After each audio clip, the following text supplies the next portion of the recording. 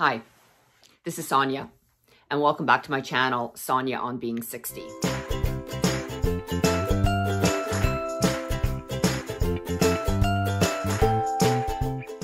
Today, I thought I'd talk about calories. So, calorie is a calorie is a calorie, or is it? Well, in the strictest sense, yes, a calorie is a calorie because all calories burn the same amount of energy.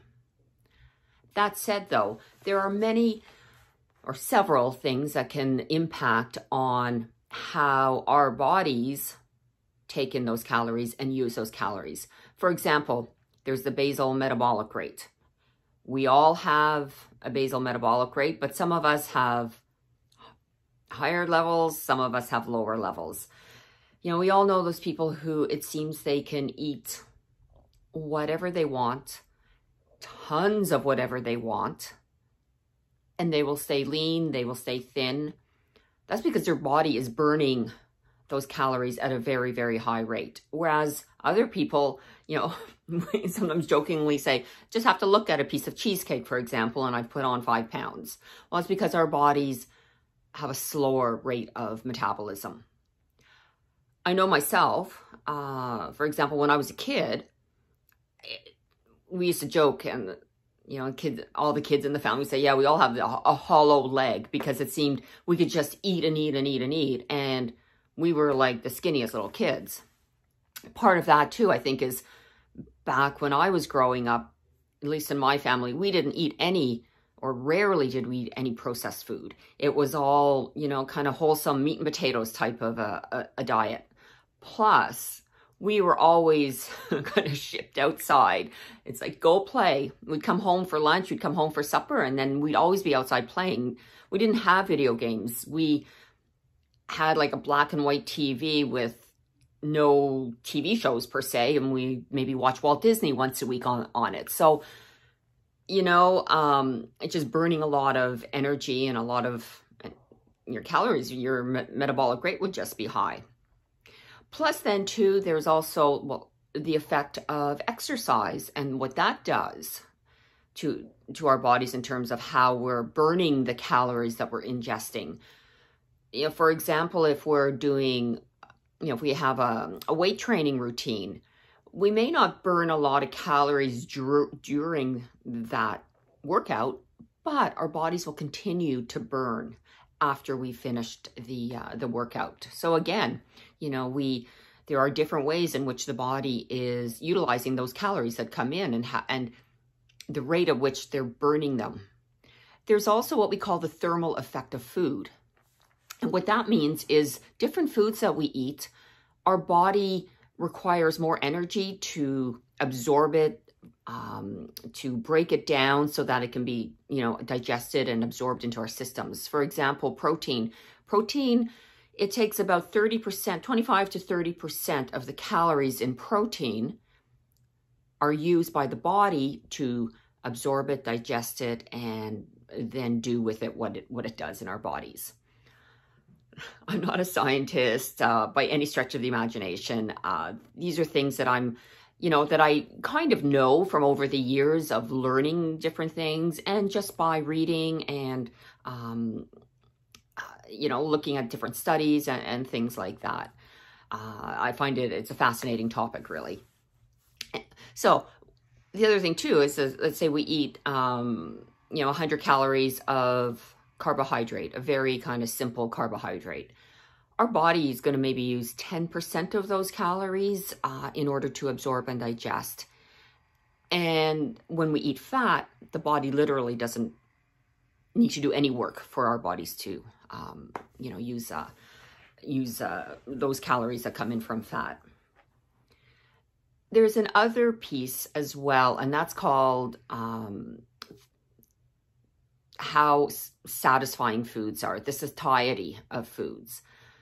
I've always felt that, and for myself, uh, if I'm eating foods that are higher in uh, protein or fat, I'm going to stay fuller for a longer period of time versus if I just ate a bunch of potato chips, for example.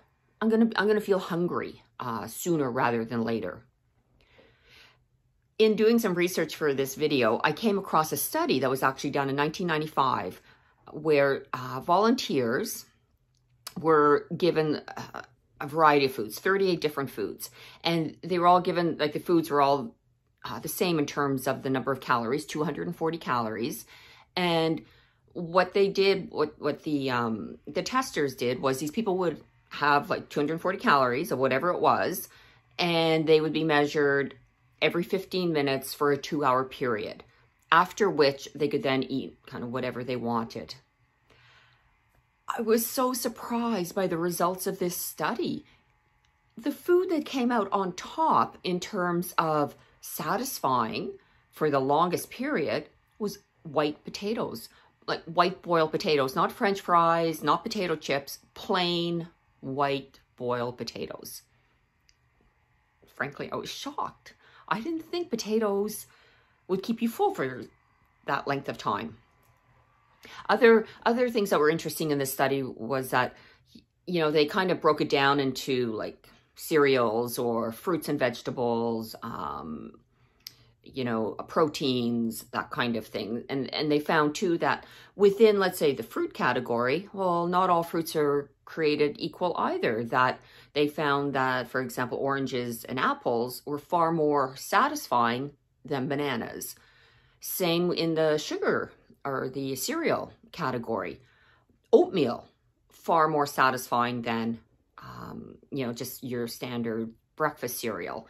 And again, that boils down to probably the fact that oatmeal is a more complex carbohydrate, that it takes the body longer uh, for it to kind of go through the system. Whereas if you're just eating kind of plain sugar, it's just going through your system and you're not going to be as satisfied from, from something like that. So in reading the study, um, I thought I'm going to do an experiment because I, I, I still find it very hard to believe that potatoes can be that satisfying. So I'm going to do a study. It's an N equals one, which means it's a study of one, me. So over the next few weeks, I'm going to take foods from these different categories and I'm going to, every day I'll start at the same time, like when I typically would eat my first meal of the day. It'll be 240 calories. I will every 15 minutes kind of write down how I'm feeling. Am I am I hungry? Am I feeling full? And at the 2 hour mark, then how do I feel? And I also want to see how long does it take for me to actually get hungry if it's after if at, if at 2 hours I'm still not hungry. How long does it take? I'm I'm, I'm just really curious to see uh my how my results kind of uh, fare against the results of this study that was done uh, back uh, 1995. So, and, and I'll post those results. Uh, I think it'll be just very curious to see. As I said, I'm, I'm quite curious to see uh, what those results are going to look like. So, to answer the question again, is a calorie a calorie? Yes and no. Yes, from a strict energy point of view, but it's certainly our bodies our bodies are truly complex uh, little machines and every body, every body is different. The way calories are used by our bodies is different. The way we, metabolize those calories are different. But I think when it comes to wanting to lose weight, for example, we are better off finding foods that are higher on the satiety spectrum of foods because because they're going to keep us from overeating. Also, we want to keep in mind how our body deals with proteins. So, you know, if we eat 1500 calories worth of protein and it takes like 30, if our body's using 30%, let's say, of that to just get it absorbed and digested into our systems, you know, that's, uh, it's 450 calories that we're not storing anywhere that are actually being used by our bodies versus if we ate 1500 calories of highly um, sugary foods, highly processed foods, bodies may be only using 10% of that, so 150 calories. So in essence, we're, if we have a diet like that, you know, our body, we are literally taking in like that 1350 calories, um, and our body is using that. At the same time, we're more apt probably to overeat because you're going to feel hungrier because those foods that we're eating aren't necessarily going to be satisfying. So it really does, I think, make a difference in terms of what your goals are and whether or not, uh, like if you want to lose weight, for example, that finding the foods that are going to satisfy you longer, as well the foods that are that our bodies are going to um, take a take a big kind of a chunk out of before they actually get into our systems. So I think that's going to be, uh, I think that's a really important point to, to remember as we, um, you know, look at what our goals are. And even if we want to maintain weight, it's the same thing. It's like remembering what, what how those calories are working in our bodies. So I hope you enjoyed this brief little video and I hope to see you next time. And like I said, oh, in the next video too, uh, or two, I will have some results in terms of how I'm finding that uh, satiety index is working. Until next time, have a great day. Bye now.